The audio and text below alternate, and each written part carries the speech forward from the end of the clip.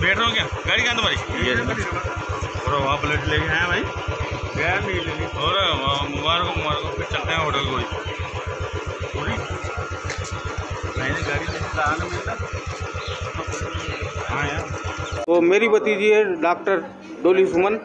वो बोरखेड़ा उज्जवल विहार में रहती हैं चित्रेश नगर में। और मेरे को लगता है उनकी हत्या की गई है किसी व्यक्ति द्वारा। क्योंकि उनके पैर भी ज़मीन पे टिके हुए थे, न कोई स्टूल लगी हुई थी और गले में फांसी की, रस्सी की जैसे किसी ने दबा के और यूँ आत्महत्या हत्या की हो, ऐसी आशंका है मेरे को।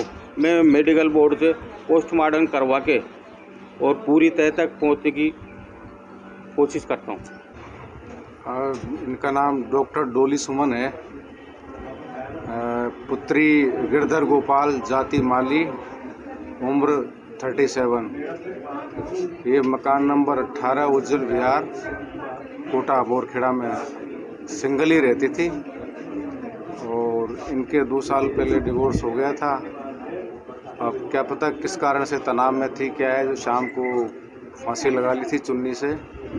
और उनके जो पड़ोस में थे वो तुरंत ही हॉस्पिटल लेकर आए लेकिन हॉस्पिटल क्या डॉक्टर साहब ने चेक करके मृत घोषित कर दिया। ये कहाँ पे कार्यरत थी सर? ये बरुधन जिला बूंदी में आयुर्वेदिक डॉक्टर थी।